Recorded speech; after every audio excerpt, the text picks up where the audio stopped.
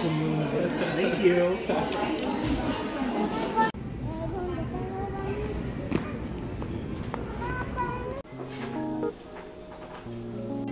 Because they're like, oh, whoa, what's your background? Drink!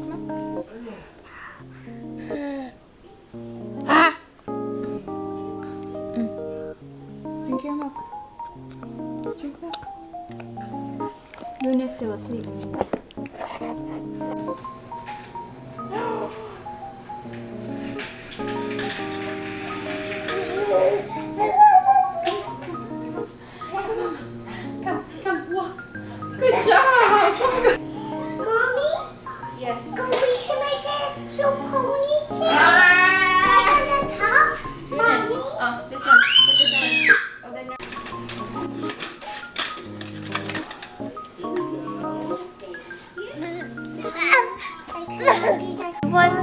Play.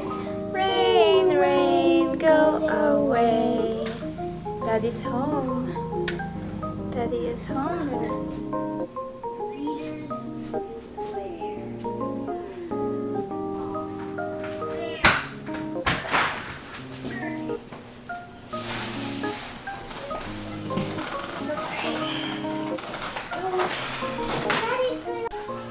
Costco grocery haul. Cleveland got some milk, mashed potatoes, and then cheese. Oven roasted turkey breast for Cleveland's breakfast. We got some two Danishes. One is cherry filled Danish, and then the other one is just plain cream cheese Danish. Eggs, cinnamon pull parts. This one is also good. Croissant. Nakita lang ni Cleveland kanina, so sabi niya, itatry namin. So, this one is good. This one is also good for breakfast. Yan. Tsaka, si Luna mahilig sa hotdog. So, titingnan namin kung magugustuhan din niya ito.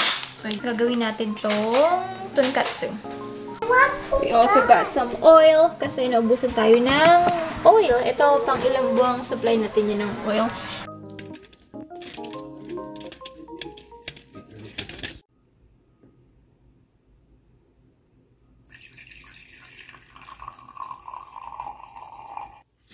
Working and nagising si Lucas.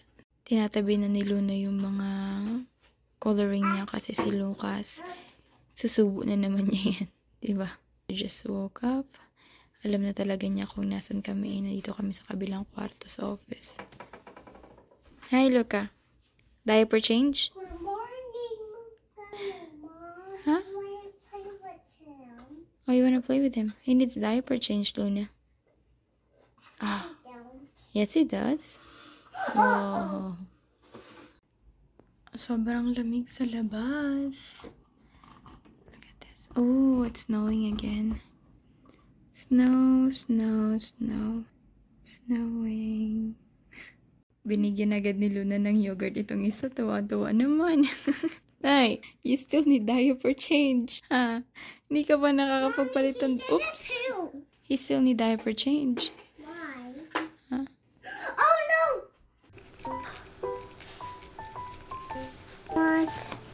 Waffles or pancake? Hmm.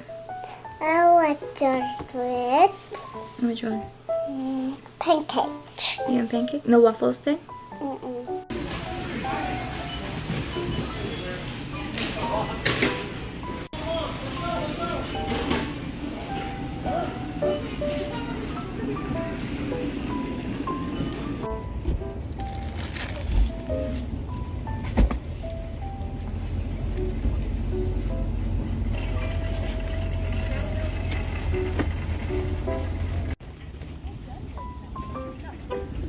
Sobrang lamig. Buti na lang hindi ko sinama si Luna at si Lucas. Whew. It's nice and toasty.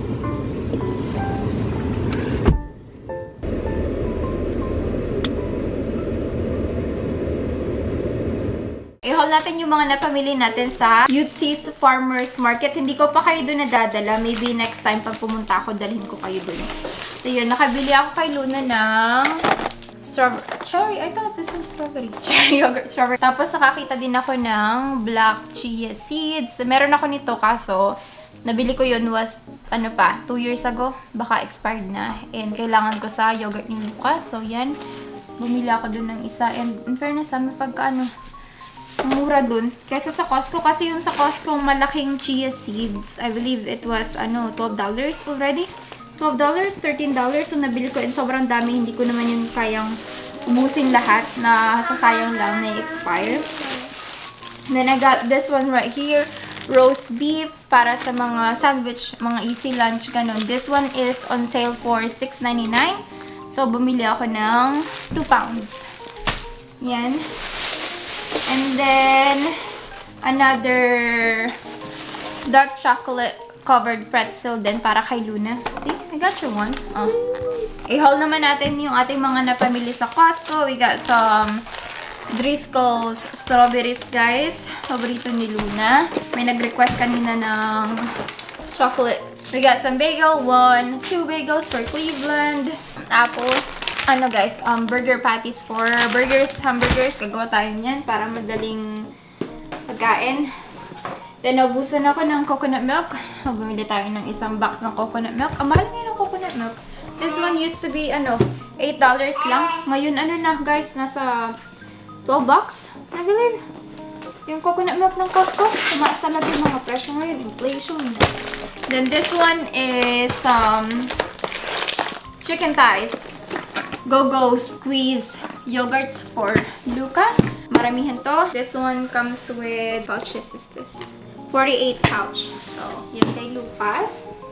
And then for Cleveland naman, nakakita ko nito din para sa kanyang mga sandwich or bagels, mga madali niyang kainin kasi ngayon nagkatrabaho siya sa umaga and kailangan niya na ready to go na na pagkain. So, yun.